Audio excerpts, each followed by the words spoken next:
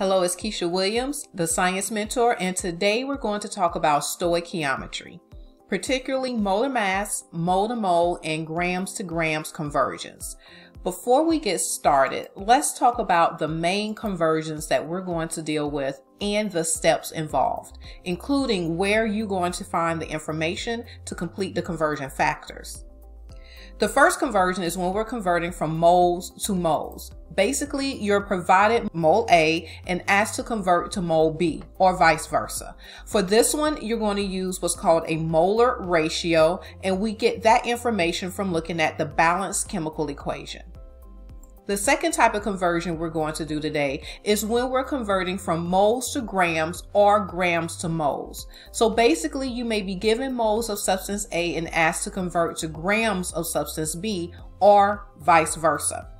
This you will use your molar mass and you get that information from your periodic table. These equations generally takes up to two steps. So make sure you have your periodic table handy for these types of problems.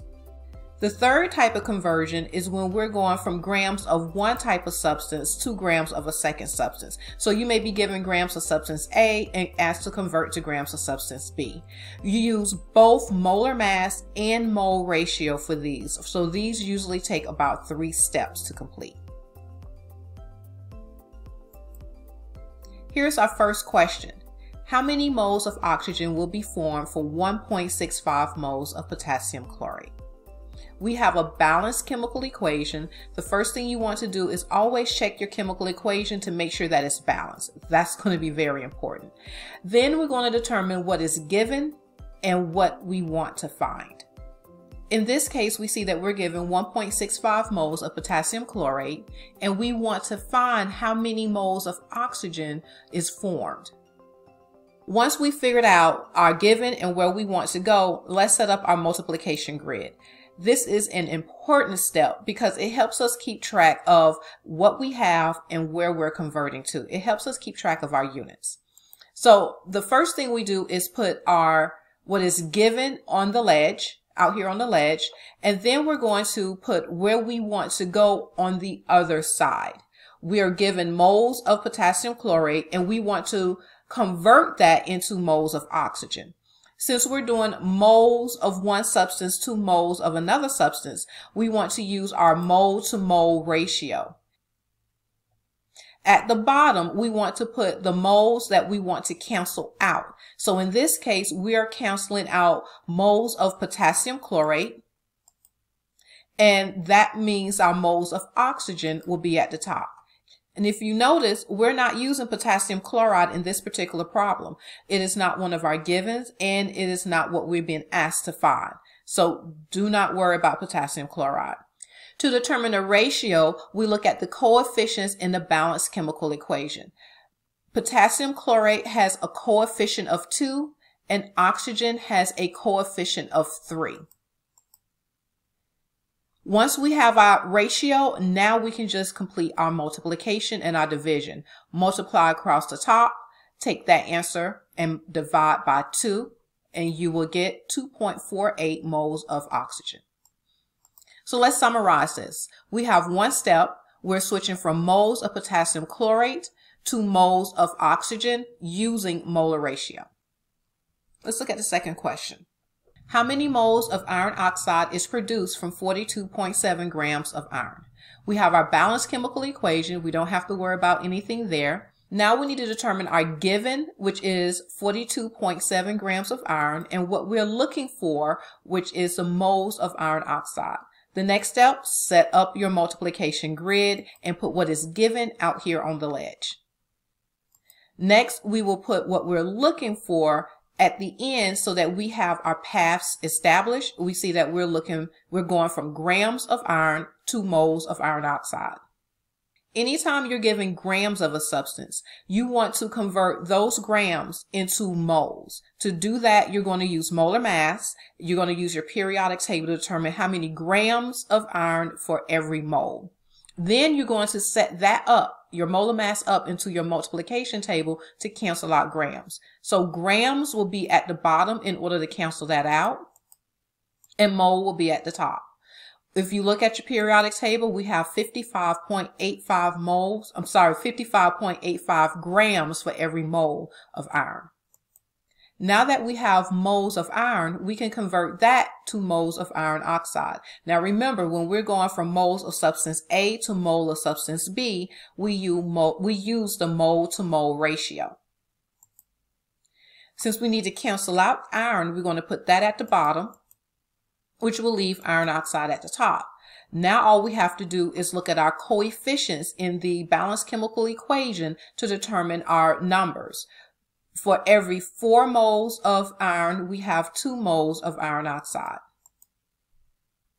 We know we're done with our setup because the last units at the top that is not crossed out match the units that we want.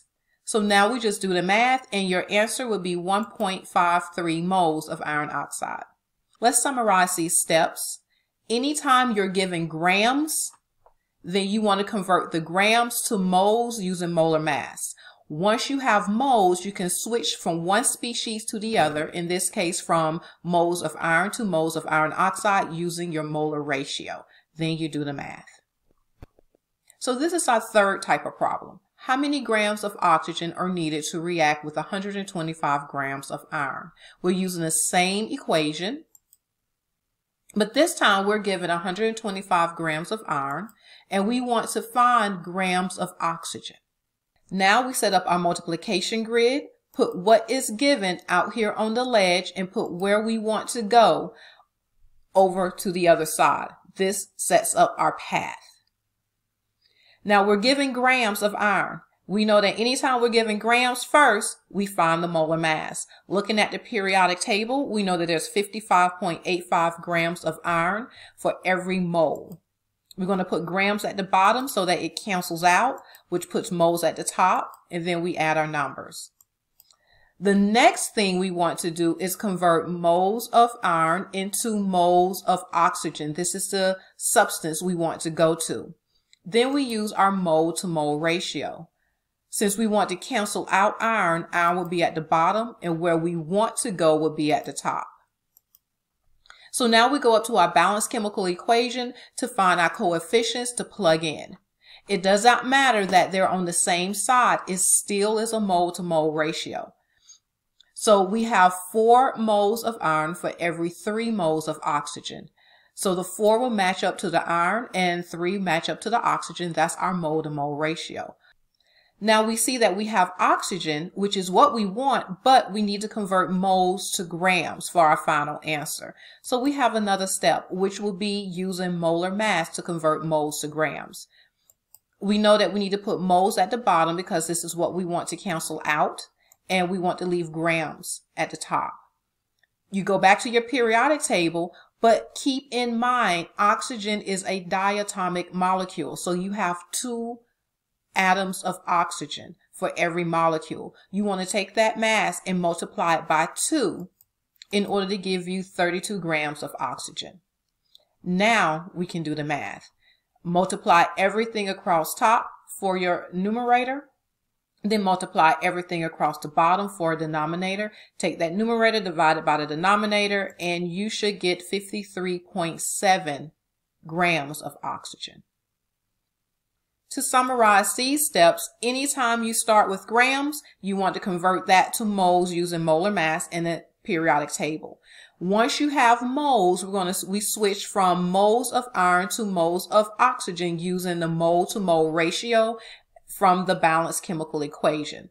Now, once we had the moles of this of the um, substance we wanted, we needed to switch moles to grams, and we did that by using molar mass.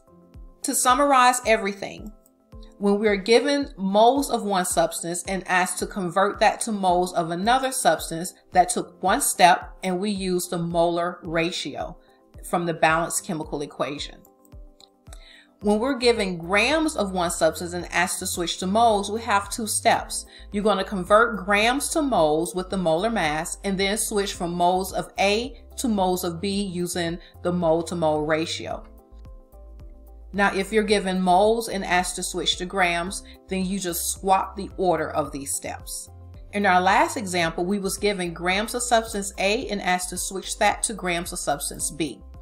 So we converted grams of substance A into moles using the molar mass in a periodic table. And then we switched moles of A to moles of B using the molar mole ratio and the balanced chemical equation. Once we had moles of B, then we used molar mass and switched moles to grams.